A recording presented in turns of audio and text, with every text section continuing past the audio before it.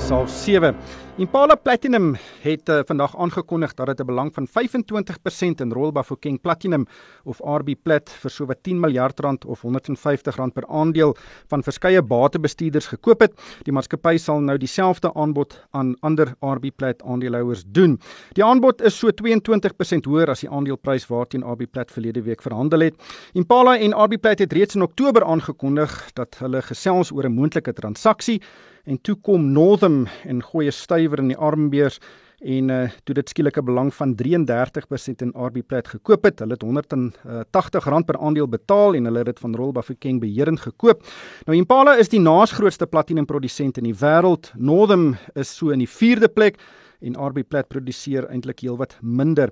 Johan Tron is op die lyn. Hy is van Impala Platinum. Johan, welkom by die program. Dis 'n interessante transaksie. Mense kan dit ook sien as 'n bietjie drama in die raadsaal.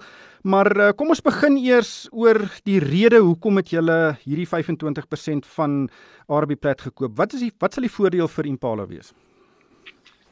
Ja, so ek dink ons praat al seker 'n goeie deel van 20 jaar om iets met RB Plat te doen ek het altyd gesê die planete moet align vir vir die transaksie om deur te gaan en ons het gehoop ons was daar vroeër die maand maar soos jy reg gesê het Nordem het ehm um, dinge vir ons so bietjie ehm um, gekompliseer. Ehm um, maar ons sien nog steeds diep waarde in in RB Plats wat aangrensend aangrensend is teenoor ons myn en ehm um, die oorweging is om ehm um, hierdie aanbod te maak aan die ander aandeelhouers. So as 'n mens nou dink aan die nie Nordem aandeelhouers op hierdie stadium nie, daar was geen aanbod vir hulle nie en ons voel hierdie is 'n goeie waarde ontsluiting vir hulle en uh dit is verseker ons intensie om van hulle 'n beheerende aandeel te koop. So daar is net so oor die 40% uh aandele oor in in RB Plat wat seker beskikbaar is. Uh, hoeveel wil wat soek julle? Wat is die minimum belang wat julle graag wil kry?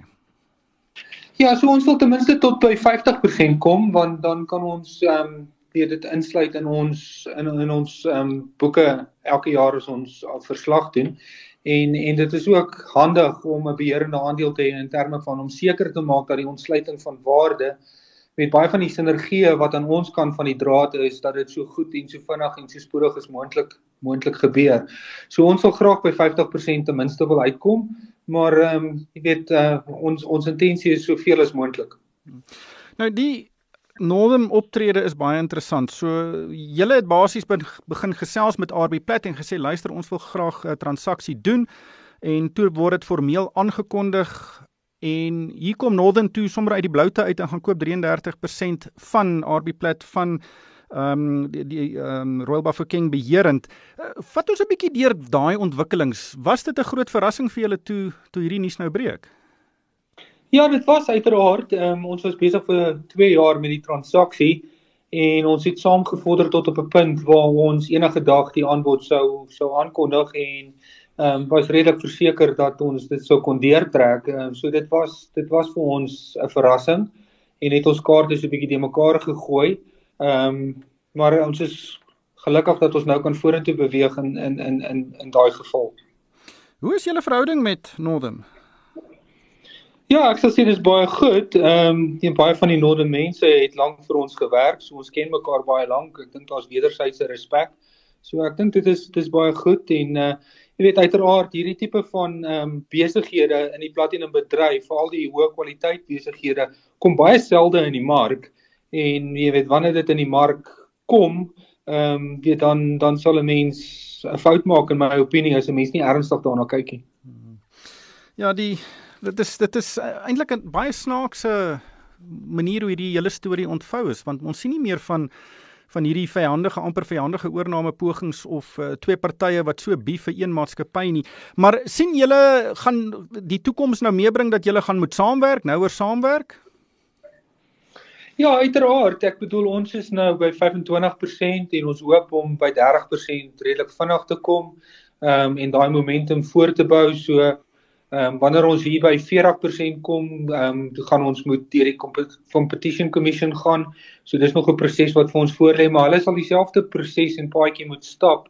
Ehm um, so dit is dis waarskynlik dat die twee van ons in beduidende posisies gaan eindig.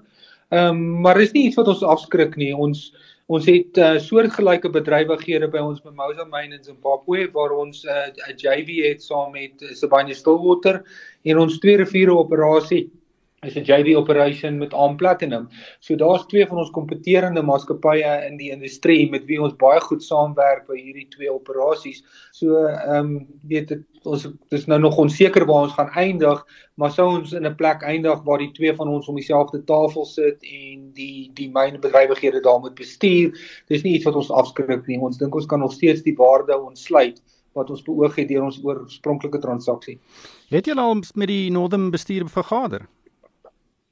Ehm um, uiteraard is ons in dieselfde industrie en ons praat gereeld mekaar, maar nog nie spesifiek rondom die hierdie transaksie nie. Hmm. Hierdie kan gesien word as 'n konsolidasie van die bedryf. Nou daar's baie daar's nie baie eksplorasiewerk wat tans plaasvind om nuwe ehm um, platinum myne te gaan soek nie of platinum neerslae te gaan soek nie. Ehm um, sien julle dit as 'n belegging of 'n konsolidasie? Hoe hoe sien julle dit in die of hoe moet dink jy met mense in die platinum sektor hierdie transaksie sien? Ja, ek dink mense moet sien dat ehm um, die die platinum is baie belangrik vir vir ehm um, aardverwarming en en vir 'n meer sustainable future in terme van energieverbruik.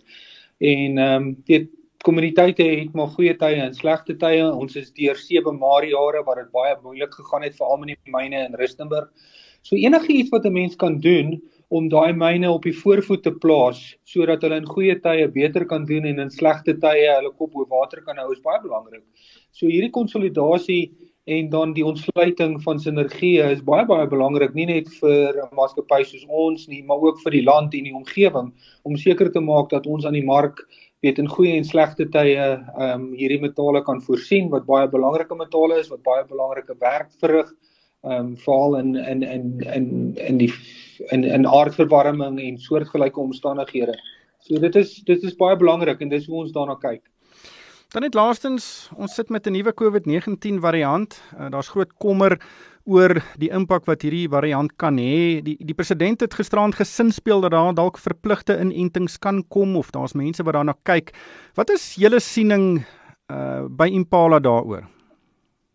Ja, ons dink inenting is baie belangrik en is waarskynlik die die beste verweer wat ons het om onsself te beskerm, ons maatskappy en ons families te beskerm. So dis iets wat ons hard gedryf het in ons maatskappy.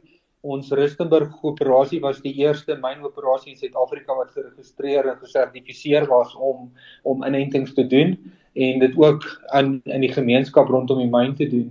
In die buiteland het ons 'n bietjie vinniger begin as in Suid-Afrika. Ons het hier nog so 'n bietjie gewag vir entstowwe. So ons kan dit hierdie operasie is 100% elke liewe persoon daar is klaar ingeënt vrywillig.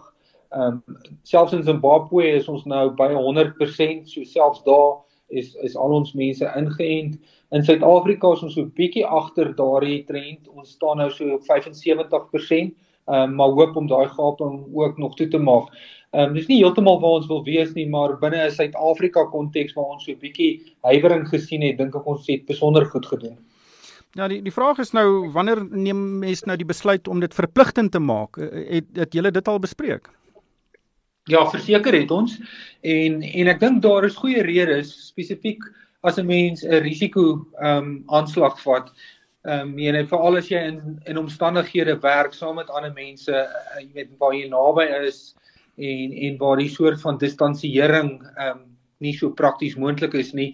Ehm um, dink ek dit is dit is iets waarop ons kan aandring as mense wel ehm um, redes goeie redes het, dan sal 'n mens moet dink on waar kan jy hulle skuif in jou besigheid waar hulle lae risiko is of watse ander maatreëls kan 'n mens volg waar dit dalk verpligtend gaan wees vir hulle om elke week 'n toets te ondergaan, ehm um, weet besondere ehm um, ehm um, toerusting te dra wat hulle dan beveilig vir die mense rondom hulle. So dit is iets waarna ons almal ek dink indringend kyk. Ehm um, en en ek dink die wêreld beweeg ook na in 'n mate na 'n area toe waar 'n uh, mens moet konsidererend wees vir jouself, jou eie belange, maar ook die mense saam met wie jy werk. Johan, dankie vir jou tyd vanaand. Dit was Johan Tron, hy is van Impala Platinum. Johan, ek wil net terugkeer na daai transaksie toe. Dit is baie interessant dat die partye nog nie vergader het nie. Dit is reg, maar een ding wat vir my uitstaan is dat RB Plat is 'n baie gesogte aandeel op die oomblik en is net die aandeelhouers wat op hierdie stadium kan wen. Jy weet ek het net vinnig gaan kyk na die aandeleprys, 88% op oor die laaste jaar, 365% op oor die laaste 3 jaar. Hulle het 'n dividendopbrengs van 9% op hierdie aandeel en uh, ek dink solank as wat Impala gaan moet werk om by daai 50% belang uit te kom, is hier groot ondersteuning vir die aandeel.